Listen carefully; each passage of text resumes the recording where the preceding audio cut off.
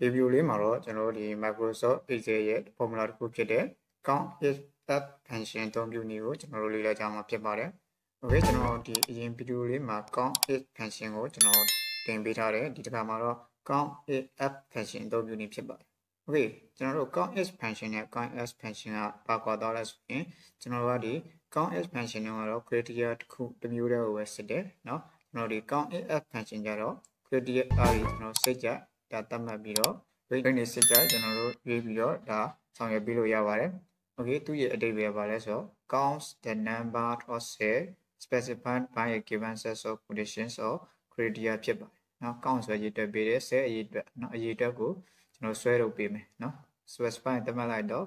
by a given set of condition or criteria เนาะ criteria သမုတ်เนาะအခြေအနေတွေရဲ့เนาะပေးထားတဲ့အခြေအနေတွေရဲ့เนาะကျွန်တော်တို့ဒီ ဟိုလိုချင်တဲ့အခြေအနေတွေပေါ့နော်ဒါတွေရဲ့အစုစုံတွဲလိုက်ပေါ့နော်စုံတွဲလိုက်ဆိုတစ်ခုတည်းပို့ပြီးတော့ criteria တစ်ခုတည်းပို့ပြီးတော့ကျွန်တော်တို့သတ်မှတ်ပေးထားတဲ့เนาะကျွန်တော်တို့ဒီ set အရေးအတွက်ကိုကောင်းဆွဲထုတ်ပေးမယ်လို့ဆိုလိုတာဖြစ်ပါတယ်။ Okay အဲ့တော့သူ့ရဲ့ formula ကတော့ညီမချင်း count af criteria rate 1 criteria 1เนาะ criteria 1ရွေးထားတဲ့เนาะရေးထားတဲ့ရှိရဲ့ rate criteria rate 1 criteria 2ကိုသတ်မှတ်ပေးမယ် criteria 2ရှိတဲ့ criteria range စာရတဲ့ဖြင့်အာ criteria range 3เนาะစာရတဲ့ဖြင့် criteria 3ဒါမျိုးမိမိစိတ်ကြိုက် data တွေရှိရင်ရှိတဲ့လောက်သတ်မှတ်ပေးလို့ရတယ်။ Okay အဲ့တော့ဒီ criteria range 1တို့ criteria range 2တို့ဆိုတာကအောက်ပြောရလဲဆိုရင်ဒီနောက်က criteria ရွေးချယ်ထားတဲ့ row range ဖြစ်ခြင်းဖြစ်မယ် column range ဖြစ်ခြင်းဖြစ်မယ်เนาะအဲကျွန်တော်တို့ဒီလက်တွေ့ formula ရေးတဲ့ခါကျရင်နားလည်သွားလိမ့်မယ်เนาะ row range ဖြစ်ရင်ဖြစ်မယ် row range ဆိုအာ criteria 1က row rate ရွေးရင် criteria 2မှာလည်းကျွန်တော် row rate ကိုရွေးပြီเนาะအာ criteria 1က column rate ရွေးရင် criteria 2မှာလည်းကျွန်တော်တို့ column rate ကိုရွေးပြမှာဖြစ်ပါတယ် Okay အဲ့တော့ criteria ဆိုတာကတော့ဒါရှေ့သင်ခန်းစာမှာလည်းကျွန်တော်လေ့လာခဲ့ကြပြီးเนาะအဲ့တော့မိကြိုက်တဲ့အခြေအနေတက်မှတ်တာပေါ့เนาะအာ criteria 1 criteria 2 second criteria 3တွေရှိမယ်4တွေရှိမယ်အဲ့တော့ကျွန်တော်ဒီမှာဗာလေးလောက်ထားလဲဆိုတော့ကျွန်တော်ဒီအယောင်စင်းမှတ်တမ်းဆိုပြီးတော့ ကျွန်တော်ဒီ data စင်းလေးတစ်ခုလောက်ထားတယ်เนาะဒီမှာဆိုရင် day 1 day 2 day 3 day 4ပေါ့၄ရက်စာเนาะအာနောက်ကရောင်းမဲ့ပစ္စည်းတွေက pencil ရှိရ ruler ရှိရ eraser ရှိတယ်เนาะအဲ့တော့ဒါတွေကိုကျွန်တော်တို့က formula ရေးကြည့်เนาะအဲ့တော့ condition ၅မျိုးနဲ့စစ်ပြမှာဖြစ်ပါတယ် okay ဟုတ်ပြီအဲ့တော့ကျွန်တော်တို့ကဒီ formula တစ်ခုရေးမယ်ဆိုရင်ညီမချင်းကနေစာရေးတာဖြစ်ပါတယ်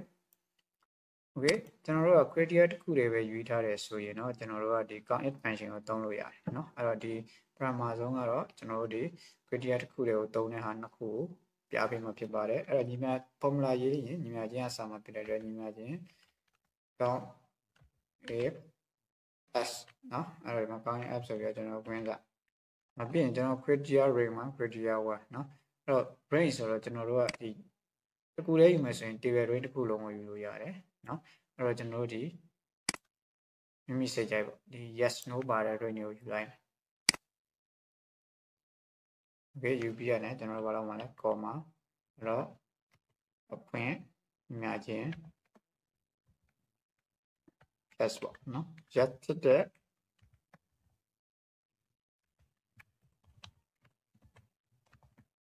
အစီအတွက်ဘယ်လောက်ရှိလဲနောက်ဒီမှာ၈ခုရှိတယ်အဲ့တော့ကျွန်တော် table သွားကြည့်ဟုတ်တယ် okay yes sheet page နဲ့3 4 5 6ခု8နော်နော်၈ခုရှိပါတယ်တဲ့ဒီ grade နဲ့ okay အဲ့လိုပဲနောက်ထပ်တစ်ခုရေးမယ် node ဖြစ်တဲ့အရေးအတွက်ပေါ့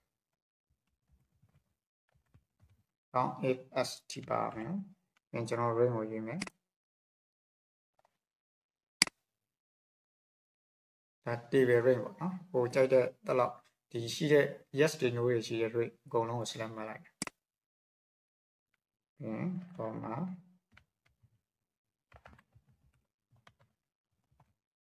နို့ဖြစ်တဲ့ဒီအတွက်ဒီခုရှိပါတယ်။မှာဆိုရင် unknown no unknown no ဆိုတာစလုံးလေးလုံးပါဝင်တယ်လို့ပဲဖြစ်ပါတယ်နော်။ Okay ဒါအရေးအတွက်တွေကိုဆွဲထုတ်တာ။ Okay အရေးကကျွန်တော်တို့ဒီ count is function ရဲ့เนาะကျွန်တော်တို့ဒီ criteria အများကြီးသုံးပြီးစစ်တာ။ဒါဆိုရင် criteria နော် range grade range နှစ်ခု criteria နှစ်ခုသုံးမယ်เนาะ။အဲ့တော့ကျွန်တော်တို့ဒီ range တွေယူတဲ့အခါမှာ column rate ရှေ့က column rate နောက်က column rate เนาะရှေ့က row rate ဆိုနောက်က row rate ကိုယူပါเนาะအဲ့ဒါမှသူကမမှန်ကန်ကန်နဲ့ formula တွက်ထုတ်ပေးမှာဖြစ်ပါတယ်။ညီမချင်းကောင်း it as ဟုတ်ပြီအဲ့တော့ကျွန်တော်တို့က criteria က ဒီမှာ yes ကိုထားမှာเนาะအဲ့တော့ကျွန်တော်ဘယ် ring ကိုယူလိုက်မလဲဆိုတော့ pencil ring ကိုယူလိုက်เนาะ pencil အောက်ကကျွန်တော် column ring ကဲဟုတ်ပြီအဲ့တော့အဲ့ဒီ ring ကိုယူလိုက်ပြီဒါ criteria ring 1เนาะအဲ့ပြင် comma ဘာကိုယူမှာလဲဆိုတော့ pencil အဲ yes ကိုယူပြင် comma ယူပြင်ဘာယူရမလဲဆို criteria ring 2ကိုရောက်သွားပြီအဲ့ဒါကလည်းကျွန်တော်တို့ဘယ် pencil နဲ့ပါနဲ့နှိုင်းရှင်မှာလဲဆိုရင်ကျွန်တော်တို့ pattern နဲ့ pattern ring ကိုယူလိုက်မယ် okay ဒီမှာเนาะ C8 ကနေ C11 ဆိုသတ်မှတ်ထားတယ်ပြီးရင်သူက no ကိုယူမယ် okay ပြန်အလားခောက်ကြည့်လိုက်ပြီး1နဲ့ဘာလို့1လို့ပြပြเนาะအဲ့တော့ကျွန်တော်တို့ရှေ့က bezel rate ရင်နောက်က ruler rate ရှေ့ကယူထားတာ yes နောက်က no เนาะအဲ့တော့ကြည့်မယ်เนาะ ရှေ့က pencil ကကျွန်တော်တို့ရက်ဖြစ်တဲ့ကောင်เนาะဒါဆိုရင် pencil ရက်ဖြစ်တာ3ခုတော့ရှိတယ်သို့တော်လည်းနောက်ကတစ်ခုတက်သတ်မှတ်ပေးလိုက်တာက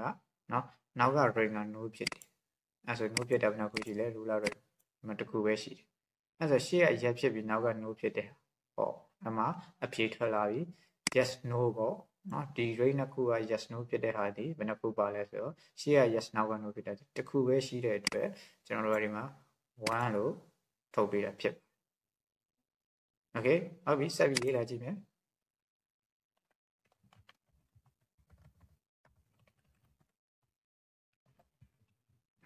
ကောင်းရဲ့နော်အဲ့တော့ကျွန်တော်တို့ဒီမှာ yes no no ဆိုပြီးယူမယ်အဲ့တော့ဒီရှေ့က rate သုံးခုလုံးကိုယူမယ် yes no no နော်အဲ့တော့ရှေ့ဆုံး pencil ring ကိုယူမယ်သူက yes လို့ယူမယ်အဲ့ကျွန်တော် string yes ဆို string တွေဖြစ်တဲ့အတွက်အားလုံးပြရမှာလဲဆိုတော့ဒီ close open เนาะအဖွင့်ပိတ်လေးတွေမလေးပါဒီဟာလေးပြเนาะအဲ့တော့ y yes yes ည yes တွေအသေးဖြစ်သွားရင်ကျွန်တော်တို့တွေ့မှာမဟုတ်ဘူး။ဘာကြောင့်လဲကျွန်တော်ဟိုမှာရေးထားတာကအစာစလုံးကိုအကြီးနဲ့ရေးထားတယ်နော်။ပြီးရင်နောက်ထပ် rate တစ်ခုယူမယ်။ဒီ rate ruler rate ပေါ့နော်။ တောင်းကဘာယူမှာလဲဆိုတော့အနုံနိုးလို့ယူမယ်။ပေါ်မှာပြီးရင်နောက်ဆုံး rate ကိုယူမယ်။ ring 3ခုနှိုင်းရှင်ကြည့်နော်ကိုယ့်ကိုလက်တွေ့လုပ်ကြည့်လိုက်ရင်ဘာကြောင့်ဒီလိုလေးထုတ်ပြရလဲကနန်း1တွေ4တွေ8တွေဘယ်လိုရခဲ့ရလဲဆိုတော့ရှင်းလင်းတော့မှဖြစ်ပါ Okay 1ပဲရှိတယ်နော်အဲ့တော့ကျွန်တော်တို့စစ်ထားတာကဒီ formula bar ကိုကျွန်တော် check သွားကြည့်မယ်နော်ဒီမှာ ring 1 criteria 1 ring 2 criteria 2 ring 3 criteria 3နော်ရှေ့က ring 1ဒီနော်ဒီဒါ table တွေကကျွန်တော်တို့က pencil ring ကိုယူထားတယ် ring 2က ruler rate ring 3က eraser rate ဆိုတော့ကျွန်တော်တို့က yes no no ရှေ့ဆုံး yes ဖြစ်မယ်နောက်တစ်ခုက no no ဖြစ်ရမယ်ဟာဆိုတော့နော် yes no no ဖြစ်တဲ့အတန်းဒီ table ထဲမှာဆိုရင်မျက်မြင်တော့မှကျွန်တော်တို့ကတစ်ခုပဲရှိနော်အဲ့ဒါကြောင့်မို့သူကတစ်ခုပဲ1လို့ဆွဲထုတ်ပြတာဖြစ်ပါတယ်ဟုတ်ပြီအဲ့တော့ကျွန်တော်နောက်တစ်ခုတက်လုပ်ကြည့်မယ်ကွယ်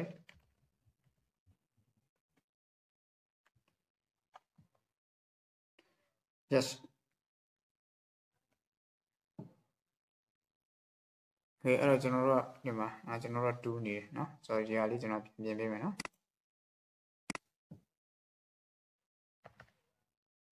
နော် formula ကနားပြထားလိုက်မယ်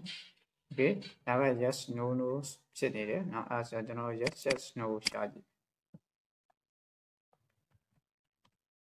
ဟုတ်ပြီ yes yes no ပါမလား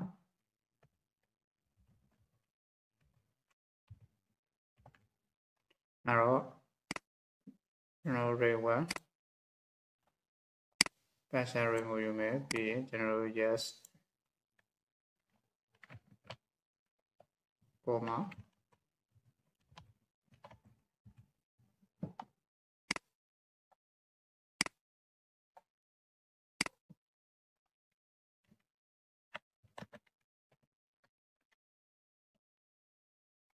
okay နောက်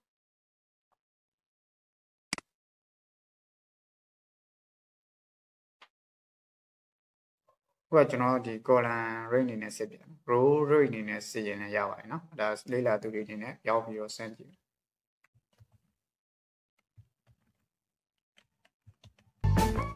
မင်းပဲ okay အဲကျွန်တော်တို့က yes yes no ဆိုတာလေเนาะဒီတန်းကတစ်ခုပဲပါတယ်ဆိုဟုတ်တယ်ဒီမှာเนาะကျွန်တော်ဒုတိယအဲ့တော့သူတို့ကျွန်တော်ကျွန်တော်တို့ count ဆိုတာရေးတွက်တာเนาะ10ခွက်အရေးတွက်တွေကိုသတ်မှတ်ပြီเนาะ ဒီ count if တုံးကတော့ကျွန်တော်တို့ကလိုချင်တဲ့ကျွန်တော်တို့ range တစ်ခု criteria တစ်ခုရိုက်ထည့်တယ်သူရှိတဲ့ရေတော့ကိုဆွဲထုတ်ပြီဒါပထမနှစ်ခုက count if နဲ့ပုံစံတူတယ်နော် count if ကိုတောင်းပြီးတော့ set လိုက်ရတယ်နော်တစ်မျိုးတည်းကိုပဲ set ကြည့်တကယ်လို့မဟုတ်တော့ဘူးဒီတူတဲ့အရာတွေနော်နှစ်ခု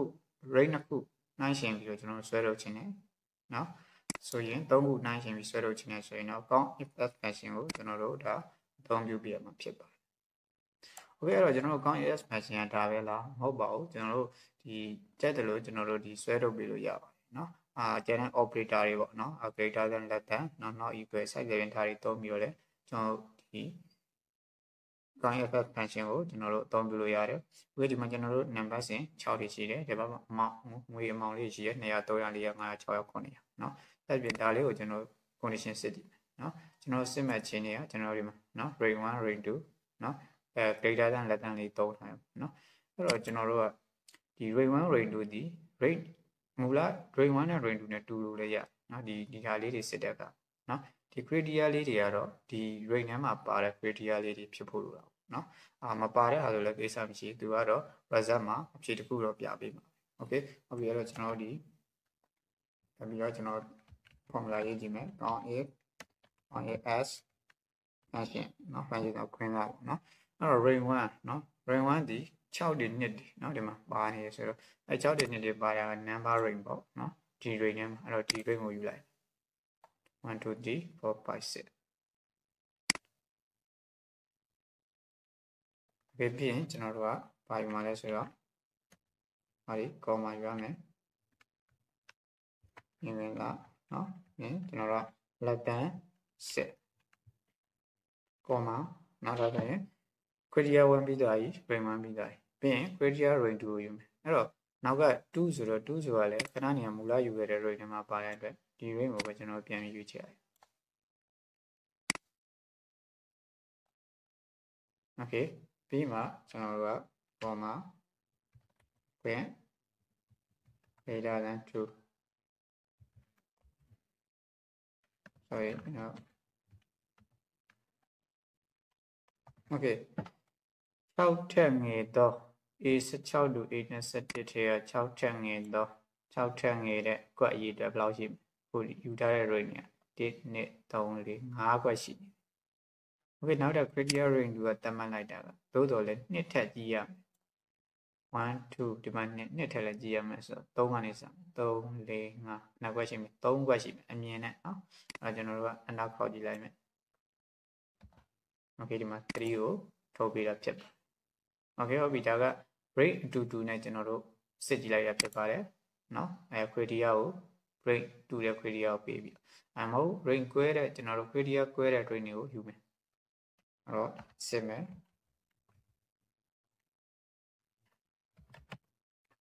is function okay ဟုတ်ပြီကျွန်တော်တို့ brain ယူမယ်နော် brain က shape ကိုယူမယ် 6ထပ်ငယ်ရမယ်အဲခဏနေ6ထပ်ငယ်တာ5ခွက်တောင်ရှိ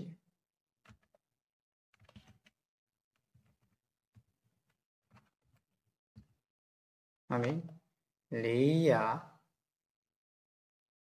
ဖြစ်ရမယ်လို့ပြောနော်အဲကျွန်တော်တို့က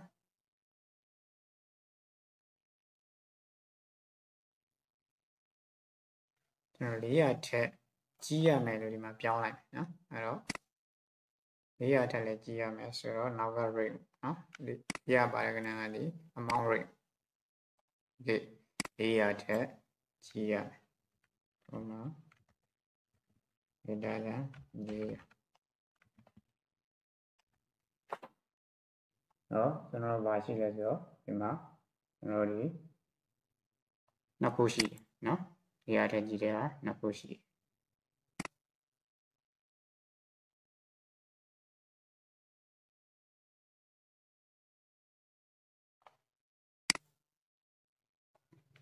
နောက်တစ်ခုကတော့ကျွန်တော်တို့ဒီအဲ count expansion ကိုထပ်သုံးကြည့်မယ်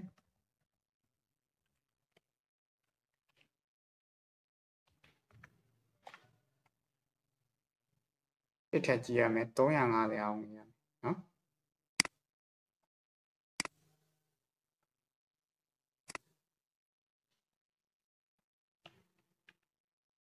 တက်တက်ကြည့်ရမယ်နော် greater than 1နောက်ကတော့350အောင်မြင်ရမယ်